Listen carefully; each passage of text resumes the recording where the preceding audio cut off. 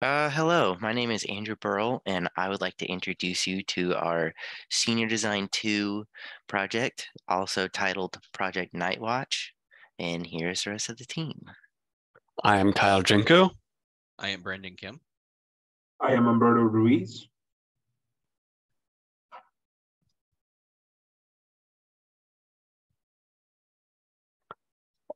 Our objective is to create an easy to build and easy to field tool that can be used in natural defense or search and rescue operations. Uh, here's our project goals and deliverables. This is just a list of all the different documentation and uh, demos that we had to do to present our pro uh, final project. And here is how we are we implemented our design. Here we have a 3D a 3D mod designed uh, enclosure that houses a Raspberry Pi, uh, bright, I mean, as well as a fluorescent camera that is connected to said Pi, as well as a, a, set of clamps that was also designed in 3D and is connected by a Raspberry Pi uh, as well. And here is a block diagram of project. As you can see, the left is a diagram of the controller layout, and to the right is a layout of our quadcopter.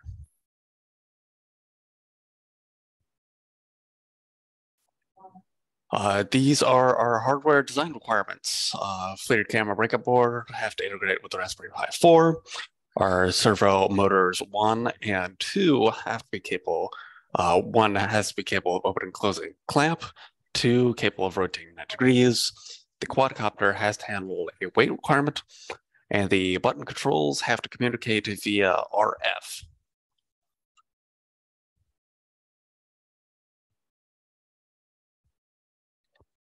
Uh, our hardware design, uh, we are using the Holystone 700G drone and quadcopter the FLIR Lepton 3.5 microthermal camera, Raspberry Pi 4, two digital servos, a 433 megahertz wireless transmitter and receiver, a battery pack, and the PureThermal 2 Lepton breakout board. The software requirements for uh, our project is being able to stream wirelessly the uh, the FLIR video from the drones to some other alternative device, whether that be a phone or a laptop, uh, be able to control both both servos, one servo for the FLIR camera and one for releasing the payload. Both of those, all of this will be control uh, controlled through a Python, two Python scripts. The first of those Python scripts is nightwatch.py. This is what is used to control the uh, control the motors and receive signals from the uh, from the transmitter. Uh, the pins used are 11, 13, 13, 18, 11, 13, 16, 18, and 22. 11 and 13 are the PWMs for both the uh, clamp and camera servos. 16, 18, and 22 are for look to look forward, look down, and open and close the clamp, respectively. The PWMs for the PWMs duty cycles for both servos are the same for both the camera and clamp, being 5.5 and 10, 5.5 and 10.5 for turning clockwise and counterclockwise. Uh, on the left, you can see a flow diagram of the program. It is just a simple while loop with some if statements that looks for the button presses, looks for those signals coming. The second program is uh, streaming.py. This is what sets up our streaming. This is done made possible through two Python packages or Raspberry Pi packages. fswebcam allows for the Pi to use USB cameras, and PiShine allows for video processing and streaming over Wi-Fi. Uh, the program just sets up the host on the Pi itself, streams over Wi-Fi to a URL of Pi IP address and the port number. So the methodology that we decided to use would be testing uh, our equipment first that we're going to be using, such as the servo motors, just to make sure that they're able to push their, I mean, push their weight and can be able and able to be used in the design that we're going to be making, as well as testing the drone for ease of flight and weight capacity, um, as And another thing that we also took to approach was 3D printing, which would be uh, designing multiple iterations of various parts. Um, the type of experimental design we that our team used was a, a, agile modular approach with a heavy emphasis on component testing, where we try components, identify issues, and solve the problems. Uh, should a component fail to meet our standards, um, we would have to we would consider moving on to the next available component. Uh, for our discussion result discussion of results, we're going to be talking about the drone. Can it be able to fly? the camera and breakout board, it being able to stream video. Uh, cus- the custom button assembly allows for for uh, motor the motor signaling and the payload system. Uh, so for this project, we ended up using the, for our quadcopter, we ended up using the Holystone HS700D uh, GPS drone. Uh, it came with a 2800 milliamp battery that allowed it to have about 22 minutes of flight time and it uses a control frequency about 2.4 gigahertz.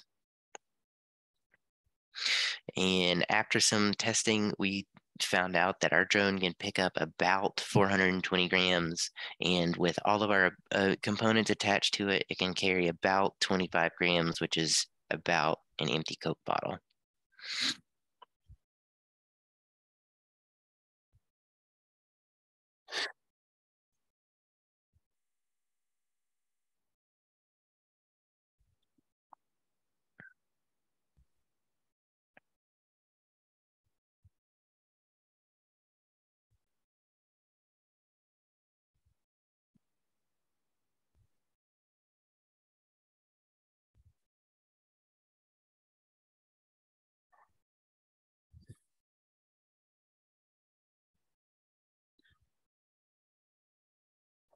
All right, uh, these the our camera and breakout board assembly. You use the FLIR Lepton 3.5 camera that has steady state rate of about 8.5 hertz and a thermal spectral range of uses long wave infrared. Uh, it's more specifically 8 to 14 micrometers. Uh, we also use the PureThermal 2 microboard, which connects the camera to the Pi via a micro USB to USB connector. Uh, the camera provides a steady stream over Wi-Fi, although there is about a second delay over a local network, but the resolution is as advertised. Here is some videos of us doing some streaming testing and just general testing with the camera. The first video is in a more dimly light room with Kyle hiding in the background. You can barely see him here, but over on the actual stream, you can see him clearly. And the second video is us in the front of Field of Watts doing distance testing with the camera with people setting up some stuff for an event. And on the stream, you can clearly make out those little dots, which are the heat signatures of those people. And this is our custom button assembly. We use the QIACHIP RF transmitter and receiver. Uh, operates at 433.92 megahertz. Uh, the transmitter has a distance of about uh, 20 to 100 meters, and the receiver has a distance about 50 meters. Uh, our button assembly uses three momentary push button switches. Uh, all components are soldered onto an Adafruit semi-perma board. And the entire assembly is powered by the 3.3 volt and ground connections in the Holystone controller. As you can see here, this is our button assembly. And this is a picture of our 3.3 volt and ground connections inside the controller. Uh, for the payload assembly, we used two five, I mean, two micro servo motors, uh, which received a PW, PWM signal from the Raspberry Pi.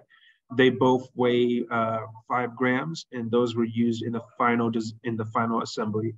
Uh, the design also used two 3D clamps, as shown in I mean, in the project uh, implementation slide, uh, which both had 10% infill for the for the purpose of weight reduction, uh, as well as well as a 3D housing, where the final where the final uh, design uses a slimmer, I mean, a, a slimmer shape of 15, which also uses 15% infill, which is 10% less than the initial than one initially used in a in a previous prototype. Uh, the challenges that we saw, the bottlenecks we saw during this project, supply chain issues. We weren't able to get some components in on time. It would take weeks. Uh, initially, the Raspberry Pi did not recognize the Lepton camera, Lepton camera as a camera, just some random peripheral, which is why we use the pure pure thermal too. Uh, the drone did not have a large weight capacity. This is our biggest issue. Uh, as professional drones that were are capable of lifting large large uh, payloads are very expensive. It would go over our budget. And uh, the initial drone that we started off this project didn't fly super consistently. Again, that's mostly because it wasn't it's a, the drone wasn't designed to be picking things up, so we had to move them. Uh, future direct direction. Uh, make the button assembly into a P PCB and integrate it into the controller design uh, rather than just soldering in the power and uh, the power and ground. Uh, the big change that we would make is to get a better drone, one that could pick up heavier objects. And, uh, and if we were to move on to picking up heavier objects, we may need to also redesign the clamps to fit a get a tighter fit. So, uh, in in conclusions, uh, we decided that we felt like we needed better time management due to supply chain issues.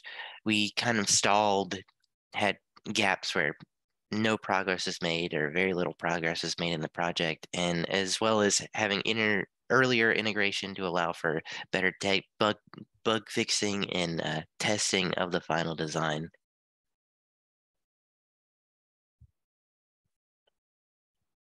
And uh, here are the references we used for this, for our project. We, uh, we would like to also thank uh, the EC Department of Clemson for helping with funding, as well as Dr. Raza for all help and guidance in helping us get to this final design. Uh, I am Brandon Kim. I'm Kyle Jenko. I'm Umberto Ruiz. And I'm Andrew Burrow. Thank you for watching our video.